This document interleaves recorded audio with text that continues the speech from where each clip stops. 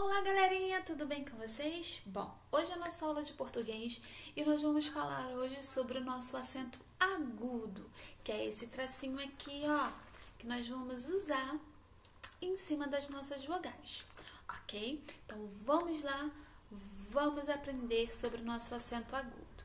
Bom, o sinal, que é esse tracinho, chama-se acento agudo. O acento agudo, ele é colocado sobre as vogais para indicar que o som delas é aberto. Aí eu vou ler um pequeno texto para vocês. Do céu caiu um lencinho bordadinho de ABC e nele estava escrito: Como eu amo você. Aí a palavrinha céu, vocês podem observar que está com acento agudo. Então a letrinha E, ela ficou com som aberto. Céu. Se a gente tira esse acento agudo da letrinha E, ela fica com som de E, seu. Entendeu? Enquanto a gente coloca o sinal, o acento nessa letrinha, ela abre o somzinho dela, ela vira céu. Quando a gente tira, ela fecha, ó, seu.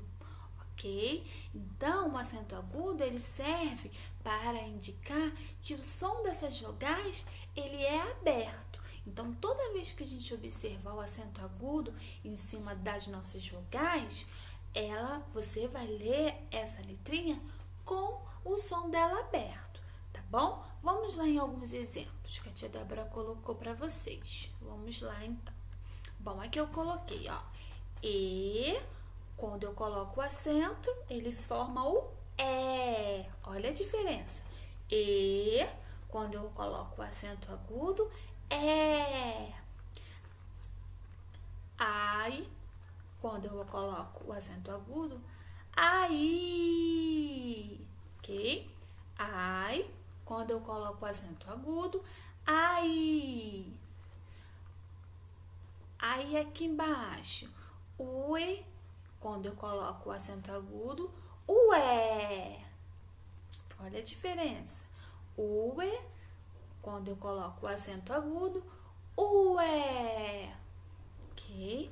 Então, nós podemos observar que quando o acento agudo está com as nossas vogais, o som dela fica aberto. Também coloquei outras outras palavrinhas aqui. Vamos ler com a tia Débora. Café. Olha o sonzinho do E aberto aí, ó. Café. Ok? Por isso que a letrinha E é acentuada, para o sonzinho dela ficar aberto, ok? Café. Vamos para o próximo exemplo? Aqui nós temos também fubá. E também a palavrinha sofá.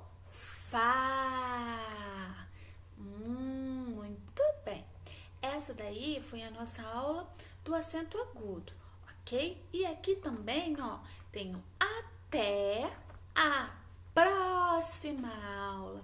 Também nós temos aqui as vogais com acento agudo, ok? Então, toda vez que a gente vê o nosso acento agudo, nós vamos pronunciar as nossas vogais com um sonzinho aberto, ok? Então, um beijo e até a próxima aula, primeiro ano. Tchau!